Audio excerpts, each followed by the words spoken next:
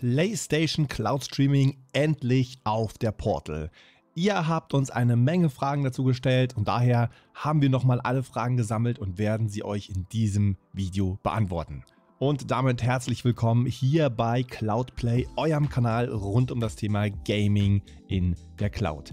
Ja, und bevor wir auf eure Fragen eingehen, habe ich jetzt erstmal eine Frage an euch. Sagt man eigentlich das Portal, der Portal oder die Portal. Irgendwie geht alles drei und ich habe auch alles schon mal gemischt durcheinander angewendet. Schreibt es mir gerne in die Kommentare, wie ihr das Ding nennt. Und damit zu einer der häufigsten Fragen. Sashi fragt zum Beispiel, wenn man keine PS5 hat, geht das Cloud Gaming dann auch? Oder auch Nico Mehrmagen, kannst du das Portal auch neu einrichten, nur mit Cloud, ohne wie in deinem Video vorher bereits mit einer PS5 verbunden gewesen zu sein?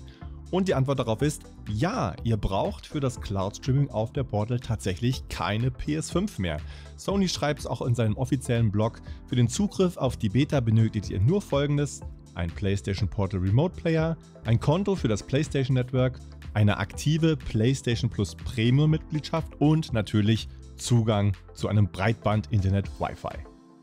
Marco ZW8EH fragt, habe das habe das Kackteil gerade erst nochmal aus dem Schrank geholt und geupdatet. Das Streaming bleibt rotze wie vorher auch. Habe eine 250.000er Leitung bei Vodafone, schätze, das wird das Problem sein, keine 5 GHz, weil Vodafone diese Frequenz nicht freigibt. Wahr ist mein Problem. Spiele wie Final Fantasy VII Rebirth wirken sehr unscharf. Und ja, Marco, das ist tatsächlich das Problem. Ihr müsst bitte darauf achten, dass ihr eine 5 GHz Verbindung bekommt. Ansonsten kann es wirklich zu massiven Qualitätseinbußen kommen. Falls ihr wirklich nur 2,4 GHz habt, würde ich euch empfehlen, testweise die maximale Auflösung auf 720p zu beschränken und zu schauen, ob ihr dann die Performance für euch dann verbessert.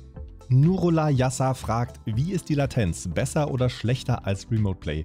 Und auch Xnashi möchte wissen, würdest du sagen, der Input Lag ist geringer, als wenn du es bei der Portal über die PS5 streamst? Da muss ich sagen, im eigenen Netzwerk habe ich keine Unterschiede feststellen können zwischen Remote Play und Cloud Streaming. Beides funktioniert sehr, sehr gut auf dem Portal. Wenn man jedoch extern unterwegs ist, muss man schon sagen, das Cloud Streaming funktioniert bei mir sogar besser als das Remote Play. Aber das hängt natürlich immer von den Gegebenheiten ab. Schreibt mir noch gern eure Erfahrungen dazu in die Kommentare. Technik möchte wissen, braucht bestimmt aber auch wirklich schnelles Internet. Und auch hier können wir auf den Blog von Sony zugreifen. Sony empfiehlt für Streaming bei 720p mindestens 7 Mbits per Sekunde und für Streaming bei 1080p mindestens 13 Mbits pro Sekunde. Aus unserer Erfahrung kann das funktionieren bei den Bandbreiten, aber umso mehr, umso besser gilt auch hier. RichieXX möchte wissen, kann man auch neue Spiele kaufen auf das Beta bei PS Portal? also, also ich weiß, was du meinst, aber die Frage ist echt strange formuliert. Mr. Good Life, aber deine eigenen Spiele kannst du auch spielen, also siehst du die auch, wenn du auf Cloud Streaming gehst. In der bisherigen Beta kann man keine gekauften Spiele spielen. Das heißt, momentan gibt es nur eine Auswahl von PS5-Spielen, die im PS Plus Premium-Katalog sind, welche auch für die Portal freigeschaltet sind. Es sind ca. 200 Spiele. Ihr könnt gerne noch mal mein letztes Video dazu anschauen. Link in der Videobeschreibung, da gehen wir diese Spiele alle durch. Genie One möchte auch nochmal wissen, kann man sie definitiv ohne PS5 einrichten? Genie One, ja, kann man und ist schon bekannt, wann gekaufte Spiele unterstützt werden. Und auch Paul Klopotech möchte wissen, wann wäre die Beta denn vorbei. Ja, und dazu haben wir leider keinerlei Informationen vorliegen. Wir wissen nicht, wie lange die Beta geht. Wir wissen nicht, ob gekaufte Spiele irgendwann zur Verfügung gestellt werden. Sony hält sich da, wie so oft, sehr bedeckt mit Informationen. Dann noch einmal Chino One ist es möglich, auch PS5-Spiele zu spielen via Cloud und gibt es Demon's Souls Remake für PS Plus Premium zum Streamen? Danke euch vorab. Ja, ihr könnt die PS5-Spiele spielen, die wie gesagt im PS Plus Premium-Katalog sind, die eigenen noch nicht. Und Demon's Souls Remake ist eins dieser Spiele, welches im PS Plus Premium Katalog ist. Und ihr könnt es auch auf der Portal spielen und es sieht wirklich absolut fantastisch aus via Cloud Streaming. Und noch einmal Chino One, was ich eben erfahren habe, ist, dass nur die PS5-Spiele streambar sind. Ist das so? Ja, Chino One, momentan sind in dem PS Plus Premium Katalog, welche auf der Portal Streamer sind, nur PS5-Titel enthalten.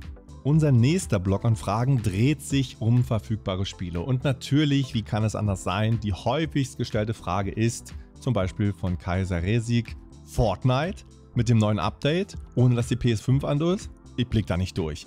Auch Fabi will wissen, kein Fortnite.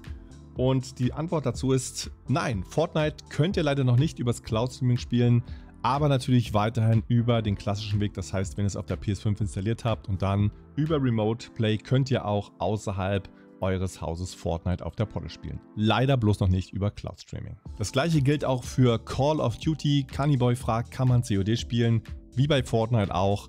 Noch nicht übers Cloud Streaming, aber klassisch über Remote Play, wenn ihr es auf der PS5 installiert habt. Aaron MMI möchte wissen, hi, kann man auch GTA Online zocken? So ohne Konsole, liebe Grüße. GTA 5 ist auf jeden Fall im PS Plus Premium Katalog und es ist auch Cloud streambar auf der Portal.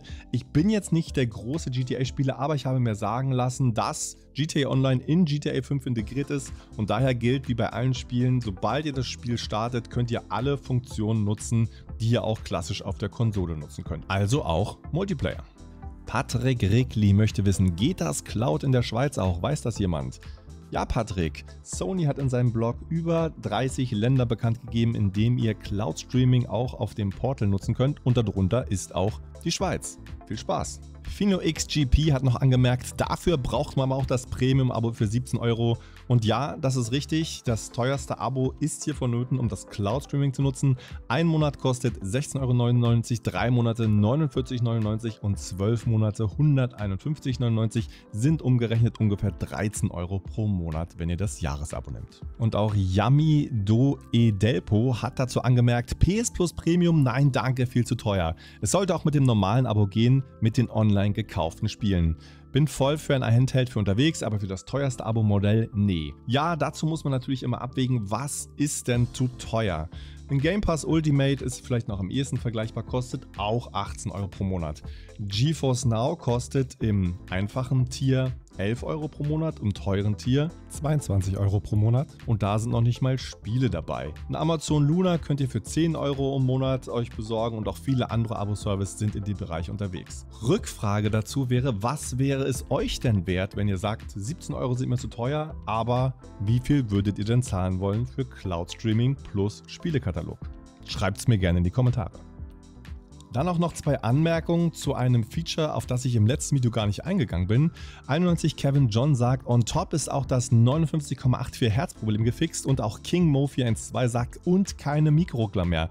Und ihr habt natürlich recht, bisher gab es bei einigen Usern das Problem, dass kleine Mikroruckler entstanden sind aufgrund einer Umrechnungsproblematik zwischen 59 und 60 Hertz und auch dieser Bug wurde jetzt gefixt. Es sieht jetzt alles butterweich aus, keine Mikroruckler sowohl im Cloud Streaming als auch im Remote Play. Also hier habt ihr auch nochmal eine verbesserte Streaming-Qualität.